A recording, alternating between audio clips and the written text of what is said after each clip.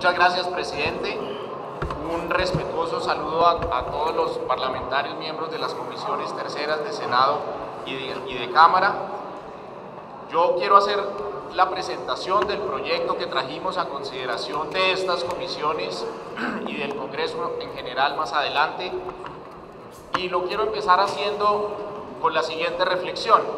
En el mes de diciembre del año 2018, hace exactamente poco menos de un año, el Congreso de la República aprobó lo que se, después se conoció como la Ley 1943 del año 2018, o Ley de Financiamiento. Se aprobó después de largas discusiones en las comisiones, de, modificaciones respecto a lo que había traído el, el gobierno a consideración del Congreso, y esa ley 1943 entró en vigencia en enero de este año. Lo que yo quiero plantear hoy es una afirmación que desde luego requiere ser sustentada y la afirmación es muy sencilla. La afirmación es el gobierno nacional trajo aquí al Congreso de la República para su consideración exactamente la misma ley que el Congreso de la República aprobó en el año 2018, hace menos de un año. No obstante, el hecho de que se trate exactamente de la misma ley ya aprobada, con márgenes bastante amplios de votación, cualquiera puede dar cuenta de exactamente cómo fue la votación de esa ley 1943, pues ha pasado, han pasado 11 meses de vigencia y es necesario hacer dos tipos de reflexiones. Primero, si queremos que esa misma ley tenga vigencia en el año 2020, en virtud de la decisión de la Corte Constitucional de declararla inexequible a partir del primero de enero del año 2020, pues es necesario hacer una revisión de tres tipos de cosas o de fenómenos que han ocurrido a lo largo de estos 11 meses. Lo primero es que es necesario, para mantener idéntica la ley, paradójicamente, eliminar 12 artículos. Y esos 12 artículos hay que eliminarlos porque entre el momento en que el Congreso de la República aprobó la ley 1943 y el día de hoy, varias de las disposiciones de la ley cumplieron su ciclo, por lo tanto hay que eliminarlos. El total de artículos eliminados son 12, de los cuales la mayor parte hacen referencia a los artículos 42 al 49 de la ley 1943. ¿Qué son esos artículos? todo el proceso de normalización de activos que se discutió y se aprobó aquí, que tenía vencimiento hasta finales del mes de septiembre pasado, pues esa, ese, esa, componente de la ley ya no está vigente en el año 2020 y mal haríamos en traer eso a consideración. También se eliminaron algunos artículos, dos artículos, que fueron eliminados por una ley posterior a la ley 1943. Fueron dos artículos que eliminó la ley del plan de desarrollo. Eh, en, particular, el que hace referencia a, eh, a los límites en, términos de los gastos de personal. Esa, esa decisión se tomó aquí en el Congreso en el mes de junio cuando se aprobó la ley del plan y se dijo que, esos, eh, que deberían desaparecer esos artículos y, que, y, que, eh, y esa fue la disposición que se tomó. Total de los artículos eliminados fueron 12 artículos en total, 8 de los cuales vienen de la ley de, de, normalización y los demás hacen referencia fundamentalmente a disposiciones de la ley del plan de desarrollo y algunos dos artículos adicionales que ya cumplieron su, plazo de vigencia.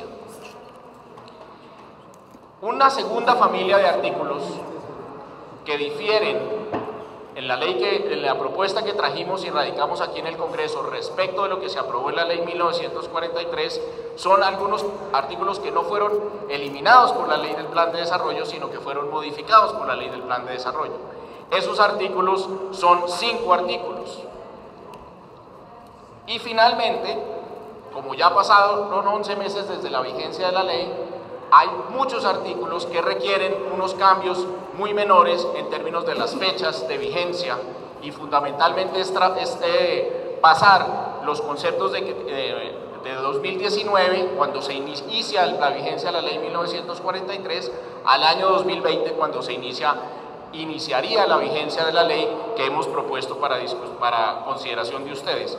Esos artículos son 30 artículos que requieren esos ajustes menores en términos de adecuar la fecha de vigencia a la realidad de que esto empezaría a regir en el año 2020 y no como la ley 1943 en el año 2018. Eh, Yo quisiera, en aras de que esté completamente claro, artículo por artículo, hacer un recorrido, así sea muy breve, de cada uno de estos 47 artículos.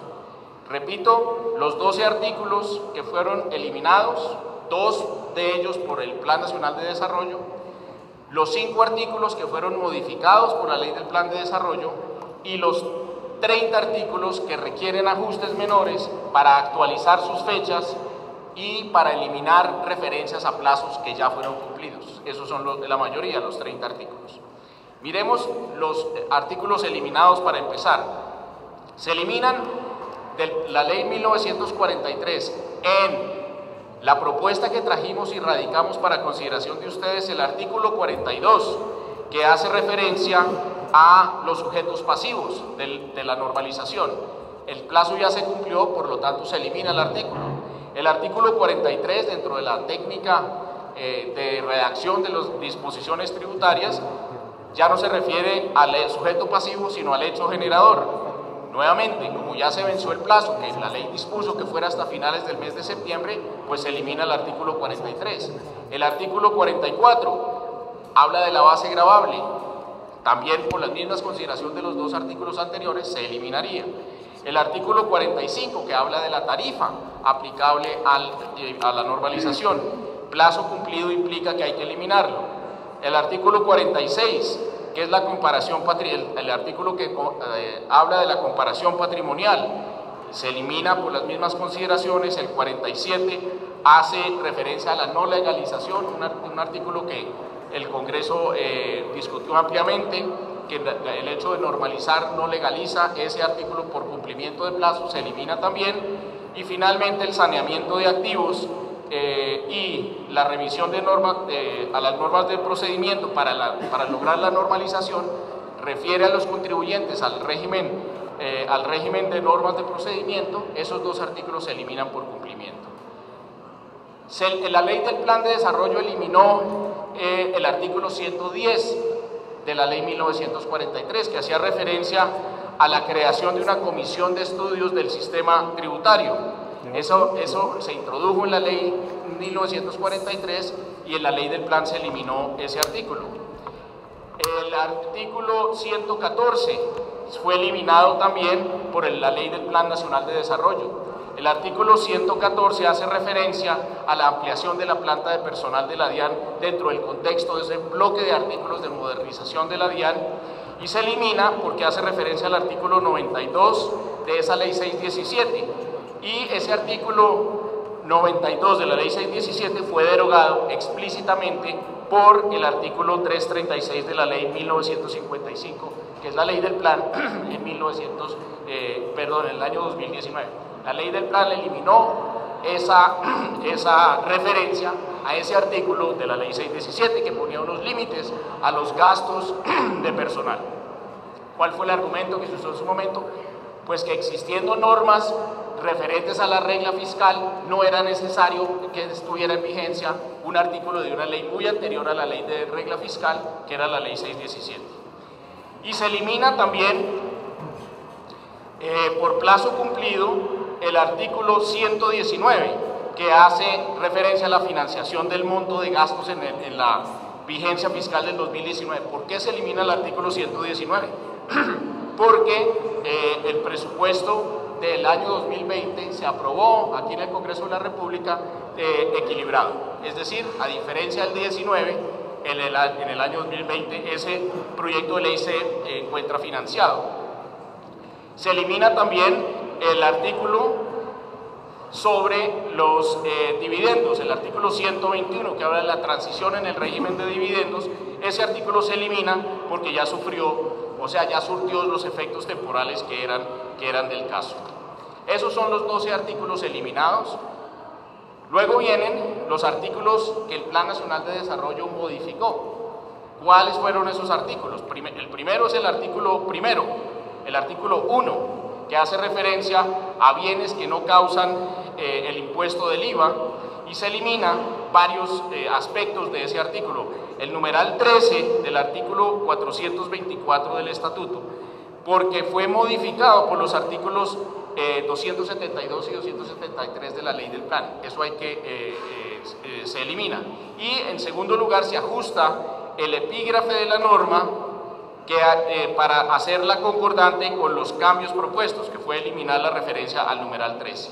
Es decir, se hace una redacción en línea con lo que se aprobó aquí en el Congreso en la ley del plan de desarrollo. Entonces se modifica el artículo 1.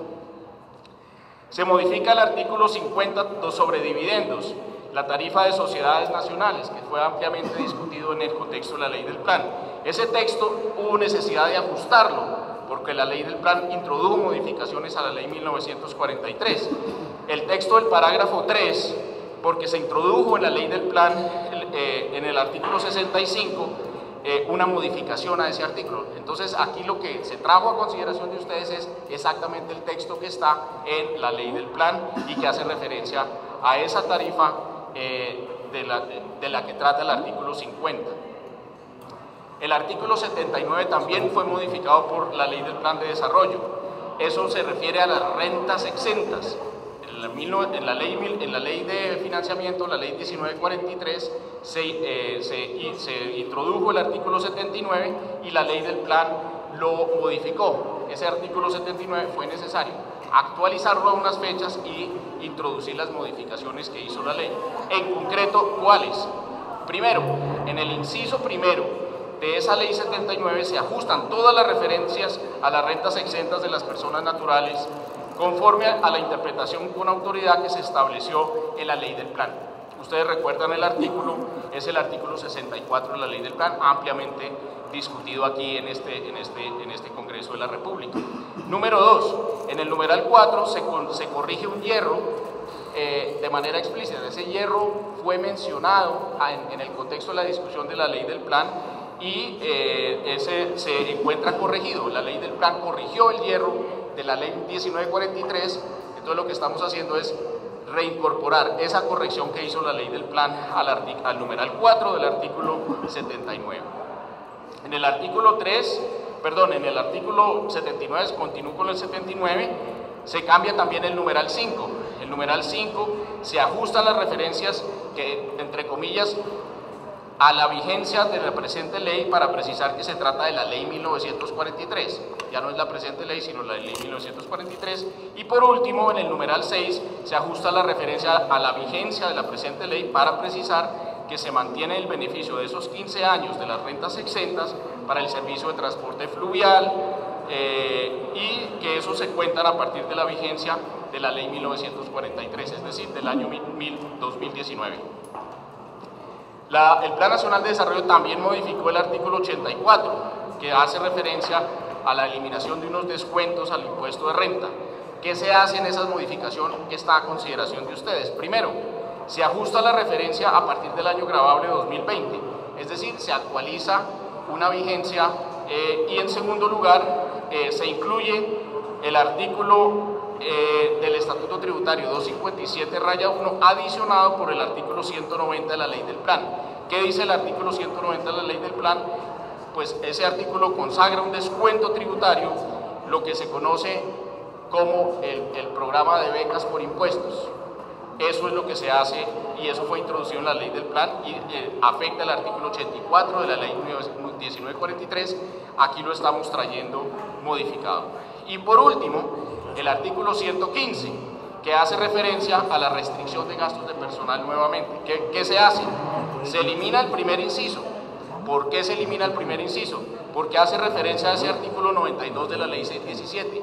Y como ya les había comentado, ese artículo 92 de la ley 617, que hace referencia a la tasa de crecimiento de los gastos en personal, ya fue derogado por el artículo 336 de la ley del plan. Entonces en ese artículo 115 se introduce esa modificación. Entonces esos son los cinco artículos que fueron modificados por la ley del plan y eh, se suman a los 12 artículos que fueron eliminados, bien sea por cumplimientos de plazo o bien sea porque los eliminó explícitamente la ley del plan o, una disposición posterior. El grueso de las modificaciones respecto de la ley aprobada, la 1943, que fue necesario hacer para traer idéntico los efectos para el 2020, que están vigentes hoy en día en el 2019 en virtud de la ley de financiamiento, son 30 artículos a los cuales fue necesario cambiarles unas fechas. Voy a hacer un muy rápido recorrido, tampoco quiero ser tan cansón eh, eh, y voy a ir rápidamente. Artículo 2 se modifica. Eh, ese hace referencia a los servicios excluidos del IVA porque ya tienen un hipoconsumo. Entonces, ¿qué pasa? Pues que ya se cumplió el plazo entonces hay que eliminar el parágrafo transitorio porque su vigencia ya se cumplió. Otorgaba a las franquicias eh, un plazo de hasta el 30 de junio del 2019, entonces ya eh, eh, el, artículo hay que eliminarle el parágrafo. Artículo 9 es el, tema del IVA para el, plurifásico, el régimen plurifásico de cervezas. Eso se cumplió el plazo. Se elimina el parágrafo. ¿Por qué se elimina el parágrafo? Porque establecía una transición de dos meses para ajustarse al nuevo impuesto, plazo que ya se cumplió. Entonces el parágrafo hay que eliminarlo y dejando el espíritu del artículo 9 idéntico. En el artículo 10, el tema de los, del IVA, seguimos con el tema del IVA, los servicios excluidos del régimen del IVA. Se actualiza, dado que ya pasaron 11 meses. En el numeral 26, aquí habla de hotelería y turismo, se elimina la referencia, entre comillas, a partir del 1 de enero del 2019 y se reemplaza por la palabra están lo anterior porque no es necesario precisar a partir de, la, de cuándo se aplica la norma porque ya viene cumpliéndose desde el año 2000, desde el año 2019, durante todo el 2019 ya se está aplicando, entonces en el 2020 la, la idea sería que se siguiera aplicando. El artículo 11 también hace no referencia a los excluidos sino a los exentos, exactamente el mismo problema. Y entonces, ¿qué se hace? Se elimina el parágrafo transitorio nuevamente, porque se, ese parágrafo transitorio hace referencia al tratamiento tributario de los vehículos automotores de pasajeros que se adquirieron o importaron en el 2018 por haber sufrido ya sus efectos, ya se cumplieron sus efectos. Entonces se elimina ese parágrafo. Y en el segundo lugar se corrige el epígrafe de la norma para hacerla concordante con la modificación, es decir, se elimina la eliminación del parágrafo transitorio implica que el epígrafe se tenga que corregir. Artículo 16 hace referencia también al IVA y al tema de la facturación electrónica, que es un, eh, ¿qué se hizo, qué se fue necesario hacer ahí para traer idéntico los términos de, las disposiciones de la ley 1943? Pues que se actualiza con plazo. En concreto, en los parágrafos transitorios 2 y 3 de ese artículo 16 se ajustan las referencias del año 2019 y se hace referencia al año 2020, que sería el primer año de vigencia para que sucedan dos cosas, que los contribuyentes continúen con la implementación de la factura electrónica, que ya en el Congreso se dispuso que fuera así, y B, se actualizan las fechas en virtud del cambio anterior, es decir, eh, durante el año los contribuyentes no serán sujetos a sanciones en caso de incumplimiento. Se ajustan ese régimen que se había dispuesto. También se modifica el artículo 28 que hace referencia a las personas naturales, renta en personas naturales, en ese caso las ganancias ocasionales por seguros de vida. ¿Qué hacemos? Se tiene que actualizar. ¿Por qué? Porque se hacía referencia en ese artículo 28 a partir del año grabable 2019. Entonces es necesario decir que ya no, es, eh, no hay que precisar a partir de qué fecha, porque ya está vigente en el año 2019, es cuestión de que continúe vigente. El artículo 29, también renta de personas naturales, eh, se actualiza la, redacción en el tema de la determinación de las diferentes cédulas aplicables a la tributación de personas naturales. El artículo para que quede claro, se, se ajusta para que quede claro que esa transición aplica para los periodos grabables anteriores a la entrada de vigencia de la ley 1943, no al año 2019, sino al anterior del año 2019. Artículo 35, que es el tema del impuesto patrimonial, también ya se cumplió el plazo. Se elimina la referencia al año 2019, pues porque en el año 2019 ya está vigente el, o está vigente el impuesto al patrimonio y eh, se tiene en cuenta pues que, eh, que, ya no, arranca el 2019 sino en el 2020. El artículo 37 también sobre el impuesto al patrimonio tema de la base gravable, idéntico problema. Se modifica el numeral 2 para ajustar la redacción de sean declarados por hayan sido declarados en el caso del impuesto a la normalización que se presentó y se pagó en el año 2019. El artículo 39 es la causación del impuesto patrimonio eh, y también es un problema de plazo cumplido. Eso se surgió en septiembre y entonces lo que, lo que, lo que perdón, ese, eh, ya se ha, ha, pasado un año de la vigencia de ese impuesto al patrimonio, entonces se elimina la referencia a el primero de enero del 2019, pues el artículo ya se surtió sus efectos para dicho año grabable del 2019. El, también se modifica el artículo 53, eh, que es la renta de personas ya jurídicas, enajenación de activos se actualiza, se eliminan las referencias a, partir del 1 de enero del 2019 porque no es necesario precisar, ya está vigente en, todo el año 2019. Eh, el artículo 66, que hace referencia al régimen simple, se actualiza y, se especifican los plazos para que tenga vigencia en el 2020, se eliminan las referencias al tema del 2019. En el artículo 67, que hace referencia a las megainversiones, se actualiza exactamente la misma idea, se ajusta la referencia de 2019, se pasa a 2020 eh, para que exista la continuidad en ese, en, ese, en ese régimen simple. En el artículo 70, que es el artículo de obras por impuestos, ya se cumplió un plazo. La referencia al 30 de junio del 2019 se elimina, dado que eh, ya se cumplió con dicho plazo. Entonces el artículo se le elimina esa fecha y se deja exactamente igual eh, el resto del texto. En el artículo 78, que hace referencia a la renta presuntiva, eh, se elimina la referencia al año grabable 2019, porque está vigente la ley en el año 2019 y ya surgió sus efectos. De resto, el artículo se mantiene exactamente igual. El artículo 80 es la tarifa de la, de la presuntiva, pues también hay que tener en cuenta que ya pasaron 11 meses desde su vigencia, se elimina la referencia a la tarifa prevista para el año 2019, primer punto, ya surgió sus efectos. En el parágrafo 5, varios literales, se ajusta la referencia a la entrada en vigencia de la presente ley para precisar que no se trata de la presente ley, sino de la ley 1943 vigente en el año 2019. Y en tercer lugar, se elimina el parágrafo primero, eh, pero, perdón, el parágrafo 7 y se elimina un inciso, el primero, eh, porque ya se surtió sus efectos para, para, para ese primer año, que es en efecto el año 2019. El artículo 91, eh, que hace referencia a la notificación electrónica, se actualiza. El artículo 91 se elimina la referencia al concepto a partir del 1 de junio del 2019, no es necesario, estaba vigente en el 1 de junio del 2019.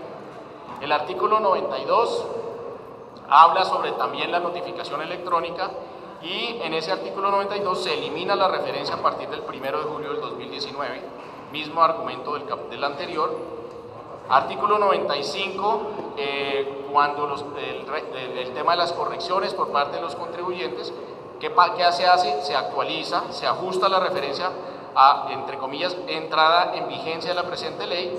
Tenemos que precisar que se trata no de la presente ley, sino de la ley 1943 del año 18. En el artículo 97, que habla de la liquidación de intereses en acuerdos de pago con la DIAN, entre el contribuyente y la DIAN, ¿Qué se hace? Se actualiza en el sentido de que se ajusta la referencia a la, entre comillas, entrada en vigencia de la presente ley para precisar que no es la presente ley, sino que es la ley 1943. Artículo 100 de procedimiento tributario es todo el tema de la conciliación en el contencioso administrativo en materia tributaria. ¿Qué, qué se hace con ese artículo 100? Se hacen dos cosas. Primero, se ajustan las fechas pasa del 2019 al 2020. Y en segundo lugar, en el parágrafo 2 se incluye la referencia a los artículos 100 y 101 de la ley 1943 para actualizar la regla de imposibilidad de acogerse a esta medida para quienes habiéndose acogido a este beneficio eh, se encuentren en mora. O sea, simplemente se traslada un año exactamente lo que decía el artículo 100.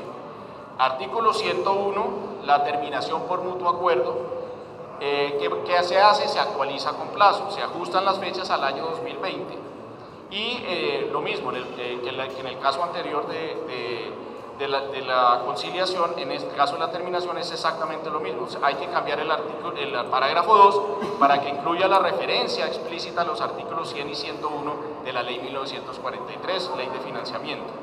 ¿Para qué? Para actualizar la regla. Artículo 102, el principio de favorabilidad en la etapa de cobro. ¿Qué hacemos ahí?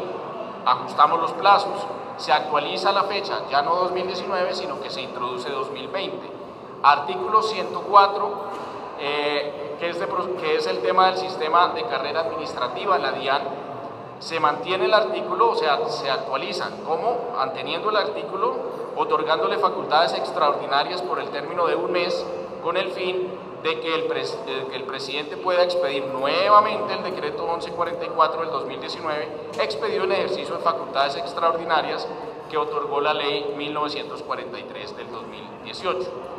En el artículo 105, beneficio de auditoría, se actualiza también. Se dice, se elimina la referencia a 2019 porque ya se surtieron los efectos y se ajustan las referencias de los periodos a el periodo para hacerlo concordante con el ajuste anterior. El artículo 106 también se modifica, actualizándose. Ese es el de la Comisión para Estudios del Sistema Tributario Territorial. ¿Qué hicimos ahí? Se modifica el artículo con el fin de darle continuidad a la comisión. Esa comisión del, estudio del sistema tributario territorial tiene que rendir sus informes en el, mes de junio. Entonces, cuando pierda vigencia la ley 1943, tenemos que mantener el espíritu de la ley 1943 de tal manera que la misión cumpla con sus objetivos en las fechas especificadas y aprobadas por ustedes en esa ley. Finalmente, en el, artículo 107 eh, que habla de las facultades eh, de las entidades territoriales para conceder beneficios temporales en conceptos de naturaleza no tributaria, ese fue aprobado aquí en el Congreso, se actualiza diciendo que la fecha es 2020, no 2019. El artículo 109 es el impuesto con, eh, con destinación específica al turismo, se actualiza se vuelve a crear el impuesto quitando la referencia entre comillas, la fecha en entrada de vigencia de la presente ley, ya que viene operando desde el primero de enero del año 2019. No es necesario hacer esa referencia. Artículo 120 habla de los pagos en efectivo de los contribuyentes del sector agropecuario. Se cumplieron ya los plazos. Se elimina en el artículo la referencia al año grabable 2019 porque ya surgió sus efectos y el resto del artículo se mantiene igual. Por último, el artículo 122 sobre vigencias y derogatorias se tiene que actualizar. Se actualiza la fecha derogatoria del artículo 312 de la ley 1819 relativo a la notificación electrónica de la UGPP a partir del 1 de enero del 2020, porque eso viene derogado desde el 1 de julio del 2019 explícitamente por la 1943. De resto, el artículo de vigencias y derogatorias se mantiene, se mantiene igual. Esos son entonces en total 47 artículos que respaldan eh, la idea de que aquí al Congreso lo que radicó el gobierno nacional es idéntico a lo que ya el Congreso aprobó. Ese era el primer punto que quería hacer. El segundo punto muy breve y, el, señor director de la DIAN va a entrar en, algunos de los detalles eh, más eh, específicos que tenemos para presentarles a consideración de ustedes.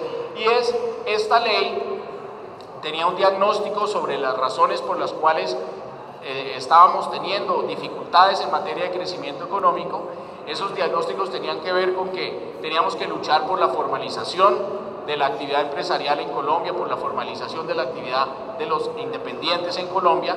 Segundo lugar, teníamos que eliminar muchas barreras a los procesos de formación de capital y de inversión privada en Colombia. Y tercero, teníamos que eh, buscar modernizar, profundizar la actividad de gestión de la DIAN con el fin de luchar más efectivamente contra la evasión y la ilusión. Traíamos los números en esa discusión sobre el tamaño y nos poníamos unas metas. Yo quiero informar que en estos 11 meses nos corresponde como gobierno rendir un informe acerca de en esos tres frentes cómo nos va.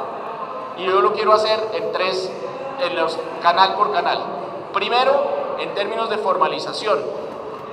Hay una combinación de dos diferentes medidas y dos diferentes dinámicas en estos 11 meses. La primera, el absoluto y total éxito que ha tenido a mi juicio, y ustedes lo pueden ver a lo largo y ancho del país, haber introducido el concepto de que el IVA no fuera monofásico en el caso de productos con redes muy grandes de distribución, sino que se introdujera un impuesto plurifásico.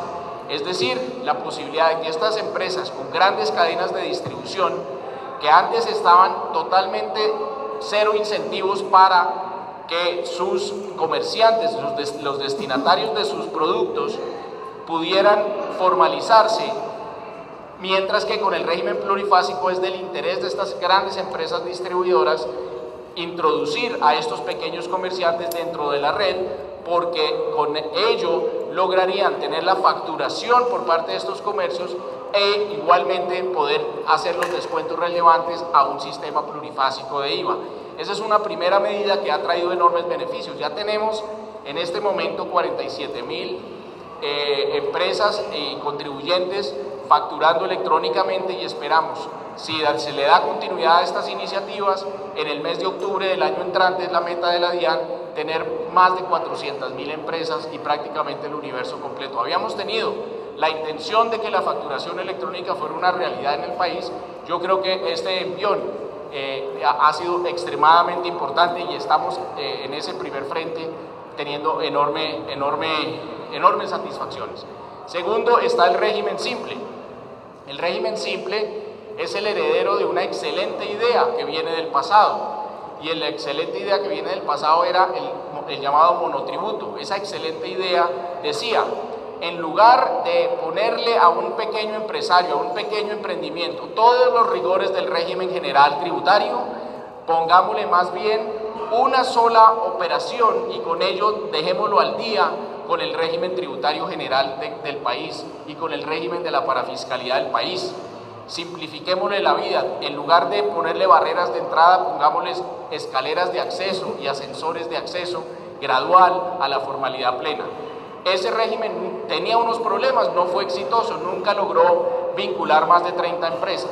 Se le hicieron los ajustes, se tomó la lección valiosa de la idea, se profundizó, se trabajó, se hicieron las sumas, se hicieron las restas y se introdujo, se les hizo la propuesta a ustedes acá, metamos un régimen simple, se discutió ampliamente, ustedes les gustó, lo aprobaron y hoy en día con mucho, mucha satisfacción puedo decir que más de 8.100 empresas están inscritas en el régimen simple. De ellas un número muy significativo son contribuyentes que por primera vez se acercan a la formalidad tributaria del país. Vamos en el camino correcto en ese primer propósito de la formalización. El segundo propósito, la inversión privada. Hemos visto con mucha satisfacción un repunte muy importante de la inversión privada en el país y de la mano de la inversión privada un repunte importante del consumo de los hogares que estaba muy reprimido en esos años difíciles que tuvo nuestra economía. Estamos empezando a ver brotes verdes en el frente de la inversión privada, estamos viendo interés creciente por parte de la comunidad internacional en tomar riesgo en Colombia, en crear empresa en Colombia eh, y eh, los repuntes en materia de inversión extranjera directa en materia de las cuentas nacionales, cuando ustedes ven que la inversión privada y el consumo privado están creciendo a ritmos cercanos al 5% anual, en términos reales podemos decir, ese segundo canal está dándonos los frutos que esperábamos y estamos en el camino que esa ley anticipó. Ustedes aprobaron una ley apoyando las ideas que estaban implícitas en el diagnóstico. Me satisface decir que en ese segundo frase, en ese segundo propósito vamos en el camino correcto. Nadie puede negar que esta economía, eh, eh, en primer lugar, está rebotando satisfactoriamente, no de, ni de lejos estamos donde queremos estar y tenemos un comportamiento muy distinto al de otras economías de nuestra región. Eso ha sido reconocido eh, por sirios y troyanos en este, en este caso. Y el tercer propósito, que es la modernización de la DIAN, ustedes van a ver cuando el doctor Romero, director de la DIAN, les haga una, una, narrativa de qué exactamente se han hecho en estos 11 meses. Gracias a todo lo que en este Congreso se aprobó, eh, podemos decir que en ese tercer capítulo tenemos grandes satisfacciones también. Señoras eh, y señores congresistas de las comisiones económicas, nada está en el estado en que quisiéramos que esté, desde luego que no. Todos nuestros días, nuestros lunes, nuestros martes, nuestros miércoles, nuestros jueves, todos los días estamos trabajando para que esto. Pero no se puede negar que lo que se aprobó aquí y lo que trajimos a consideración de ustedes, por lo tanto, es algo que desde todo punto de vista ha sido benéfico está siendo parte importante de, un resurgimiento de la economía de este país y que me parece muy sensata la, idea de que esa propuesta que tiene el gobierno sea la base, la base fundamental de la discusión. Con ese argumento, no es un capricho del gobierno, es algo que se aprobó en el Congreso. No son ganas de imponer unas ideas sin discusión, ya se discutieron, ya se discutieron ampliamente y ya la realidad nos ha dicho, hombre, qué bien lo que se aprobó aquí en el Congreso de la República. Los números nos están dando la razón y esos es los dos puntos que yo quería hacer. Primero, trajimos una ley idéntica y, por supuesto es necesario respaldar esa afirmación con, con, una discusión punto por punto desde el punto de vista jurídico y de lo que se trajo. Y en segundo lugar, un mensaje de que esa ley funciona, esa ley está funcionando, esa ley es una parte importante de la razón por la cual nosotros estamos en pleno proceso de recuperación y nos distinguimos muy marcadamente del resto de nuestra región. Yo dejaría ahí, presidente, para que el señor director de la DIAN profundice un poco más sobre los temas que, he tocado en ese frente.